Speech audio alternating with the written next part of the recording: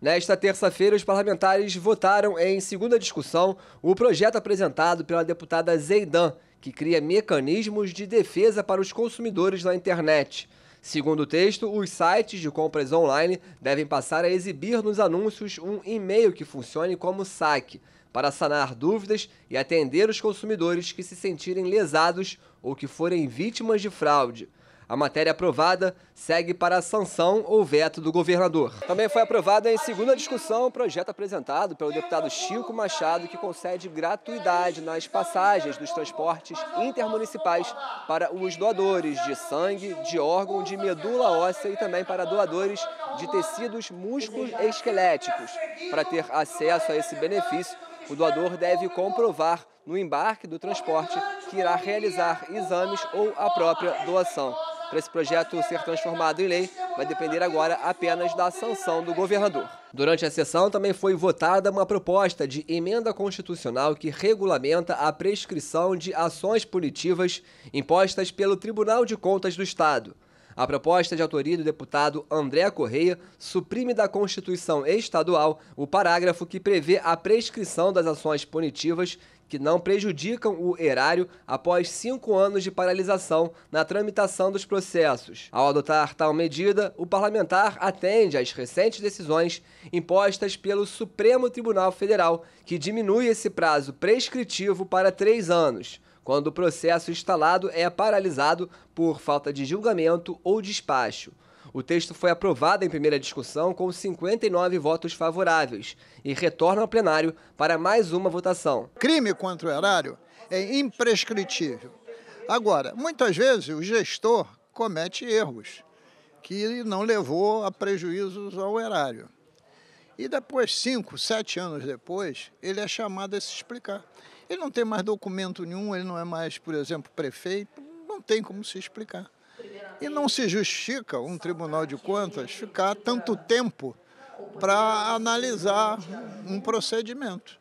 Então, hoje, a regra tem sido para que tudo aquilo que não causa dano ao erário, o tempo de prescrição ser três anos.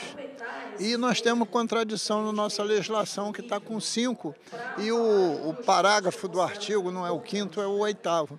Então a emenda constitucional está fazendo essas correções. E foi aprovado em primeira discussão o projeto apresentado pelo deputado Luiz Cláudio Ribeiro. O parlamentar determina que todas as empresas situadas no estado do Rio de Janeiro que sejam consideradas de grande porte, ou seja, que possuam mais de 100 funcionários, sejam obrigadas a conceder aos colaboradores de forma anual palestras com o tema do etarismo. O objetivo da proposta é conscientizar esses funcionários sobre esse preconceito e a discriminação por conta da idade. O projeto agora vai precisar passar mais uma vez aqui pelo plenário. Também em primeira discussão foi analisado o projeto que autoriza o Detran a celebrar convênios com o Sindicato das Autoescolas do Estado do Rio, o SINDAERJ, para que os centros de formação de condutores possam realizar a captura de fotos e de impressão digital, além de realizarem a aplicação das provas teóricas na própria sede dos CFCs. A proposta apresentada pelo deputado Márcio Galberto também prevê que as autoescolas também emitam a caderneta de exames, com a indicação das clínicas médicas credenciadas para a realização dos exames de vista e psicotécnicos.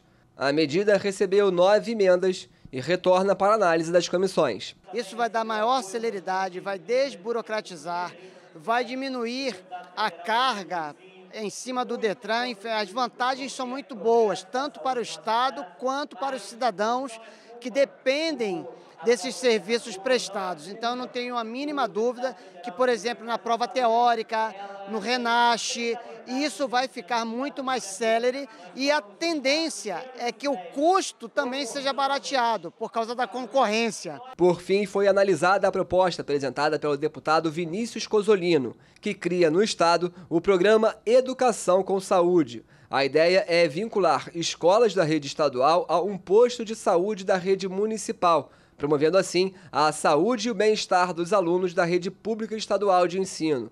O programa, além de facilitar o acesso dos estudantes aos serviços de saúde, também deve promover campanhas educativas de vacinação, de apoio psicológico, de combate à obesidade infantil, entre outros.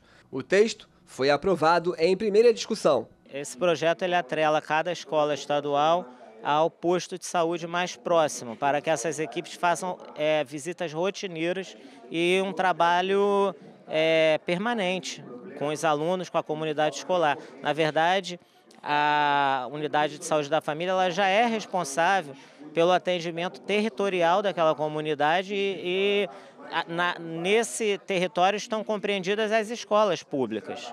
Mas e é bom que isso seja uma lei estadual, porque nós vamos conseguir colocar esses recursos através desse programa no orçamento do Estado.